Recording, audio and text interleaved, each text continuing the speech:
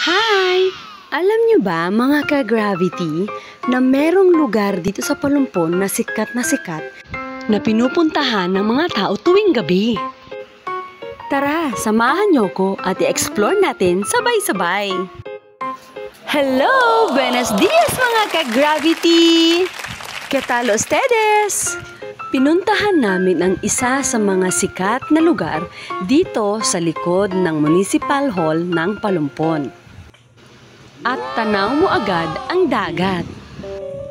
Isa itong barbecue and grilling station. At bigla kang mapapaisip kung mahal ang binibenta nila dito. Ayan o, ang daming nagbebenta ng mga barbecue. Yan, tuwing hapon nandyan yan sila at hanggang mamayang gabi makikita nyo pa rin sila. At talagang masarap ang mga binibenta nila dito. At in fairness, affordable talaga siya. Siya nga pala, kasama ko pala si Josh dito. Si Ate Gisette. At syempre, mapapaiwan pa ba si Tonet?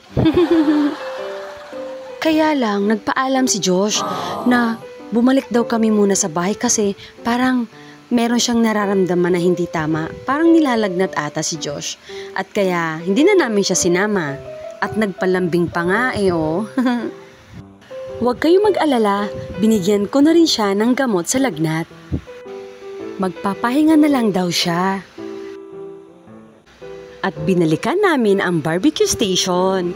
So ayan, habang naghihintay kami sa mga barbecue na in-order namin, binigyan na rin kami nila ng mga puso. Ito yung stuffed rice na nasa dahon ng niyog. So, syempre habang nag-uusap at naghihintay kami sa barbecue, medyo nagkantsawan pa kami mga bata dyan. Isa din ito sa paboritong pasyalan at kainan ng mga bata. Gusto na rin kasi nilang kumain ng barbecue. Wow, oh, nasa restaurant. How did you get it like that?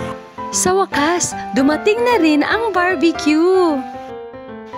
Tara, kain tayo mga ka-gravity! At pagkatapos namin kumain, nag-crave sila ng ice cream. Kaya trinit ko din sila ng mga ice cream. Yay! Ice cream, ate! Don't forget to subscribe, like, and follow our videos. Gracias mga ka-gravity! Bye!